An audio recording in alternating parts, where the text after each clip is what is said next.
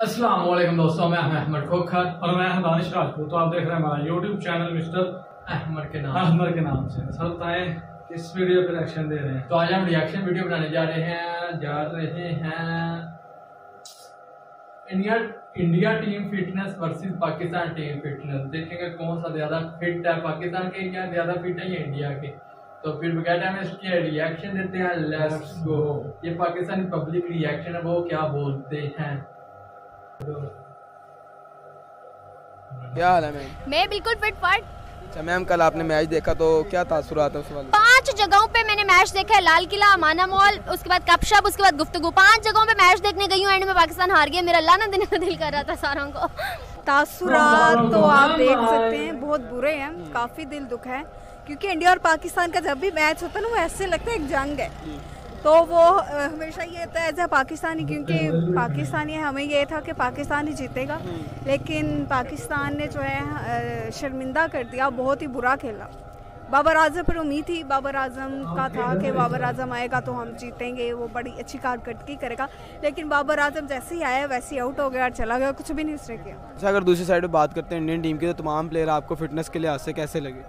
वही विराट कोहली। सबसे पहले तो विराट को देख लो। अब आया ये चाहे इतने टाइम बाद आया, लेकिन मकसद है कि आते ही उसने अपनी परफॉर्मेंस दिखाई है, जैसे भी है, वो ओके हैं। उसके यानी कि वो अपनी टीम को ऐसे रखते हैं जैसे वो एक यकजहती का मुजाहरा करते हैं। हमारे पाकिस्तान में ये चीज़ नहीं है, हमारी टीम में ये नहीं है।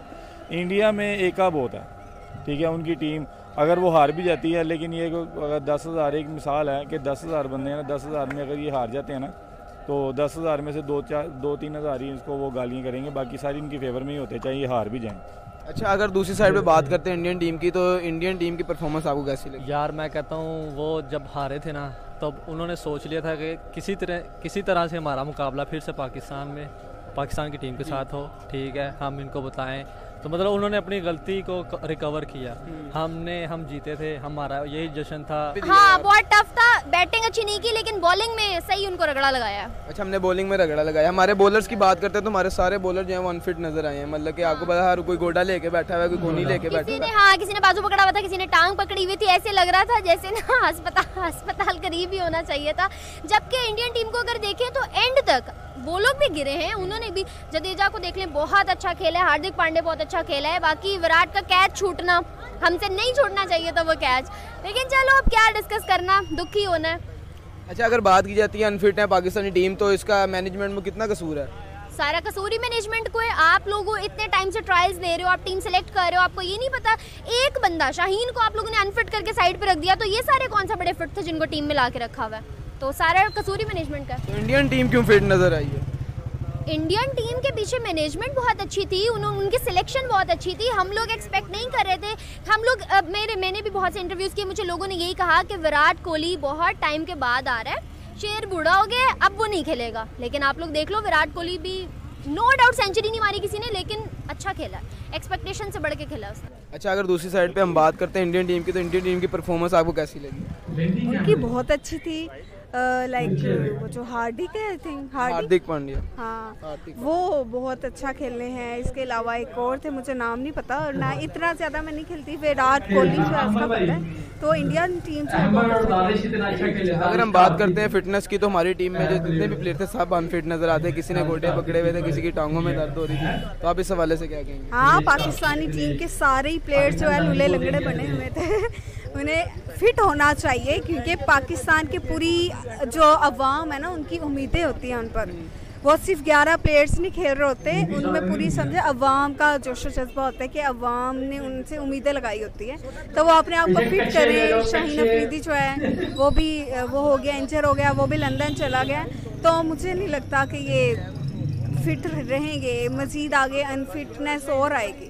अगर बात की जाती है फिटनेस के हवाले से तो अगर फिटनेस देखी जाए तो आपको पाकिस्तानी टीम की कितनी फिटनेस नज़र आई? क्योंकि कल के मैच में जो जितने भी प्लेयर्स थे वो इंजर्ड नज़र आ रहे थे। यार मैं का मैं ये कहता हूँ मैं ये कहता हूँ कि हमारे खिलाड़ी जो कम थे ना हमारे खिलाड़ी फिटनेस खेल के दौरान यार अक्सर हो जाता है पाँव का मरोड़ आ जाना हाथ वगैरह या कहीं पे बॉल लग जाना।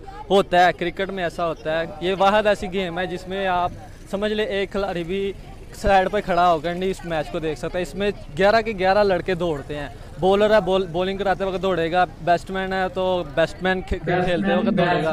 ठीक है कीपर है तो कीपर ने हर बॉल के लिए एक्टिवेशन होती है। ठीक है फील्डर है फील्डर ने ग्यारह के ग्यारह ने चौकस रहना है। ठीक है कि हमारी तरफ़ भी बॉल आ सकती है हमारी तरफ़ कैच आ सकता है हमारी तरफ़ कुछ भी हो सकता है। ठीक है, ये ऐसी खेल है, समझ लीजिए इसमें आपको सांस लेने की दुशारी नहीं है। आपने ये समझ लो सीन नहीं कर सकते, आप सिर्फ़ दौड़ सकते हो, उसको पकड़ सकते हो तो खेल के दौरान बंदा गिर सकता है इंजर्ड हो सकता है, उस- उसमें भी गिरते हैं इंडिया वाले भी गिरे हैं, हमारे पाकिस्तान के भी कुछ खिलाड़ी गिरे हैं। बहरहाल, मैं ये कहता हूँ कि टक्कर का मुकाबला हुआ है। हमारे चाहे नए खिलाड़ी थे पीएसएल के खिलाड़ी उन्होंने ऐड किए, मुझे ये पता चल, पर आप ये देख सकते हो कि जो बंदा बॉलिंग कर रहा था एंड वाले एंड वाले ओवर में आप देख लो, उन्होंने कैसी दुआई की है आपकी। जो बॉलर था, उसका बैट देखो कैसा चल रहा था। अगर हमारे अगर हम प्रॉपर तरीके से आते ना तो मैं कहता हूँ जो विराट कोहली का कैच पकड़ा ना तो पूरी पूरी जो स्टेडियम था ना इंडिया ने फारा खत्म। फिर चले जाना टाटा बाय बाय हो जाना अगर उसका कैच पकड़ा जाता तो किस्मत उनकी। अच्छा अगर इसी मुकाबले में हम दूसरी साइड ऑपोजिट ऑपोजिट साइड की बात करते हैं तो इंडियन टीम आपको कितनी हद तक फिट नज़र आई यार वो समझ लो प्रॉपर टारगेट बना के आए थे कि आज का हमने जीतना है क्योंकि उनकी जो पिछला मैच था वो चैंपियन ट्रॉफी शायद थी मेरे ख्याल से कुछ कोई कप चला था ठीक है। तो बहुत बुरा हारे थे। ठीक है। वर्ल्ड कप वर्ल्ड कप समझ ले शुएब अख्तर हरभजन सिंह से साथ बैठा था तो पूरी मीडिया उन्होंने पूरी रोस्ट की थी उन्होंने पूरी इंडिया की टीम वालों ने ना बर्गर पाड़े ये वो सारा कुछ समझ ले तो वो उनके लिए इज़्ज़त का इज़्ज़त और समझ ले कुछ आ जाता है कि उनकी गवर्नमेंट का अपनी इज़्ज़त का सवाल था।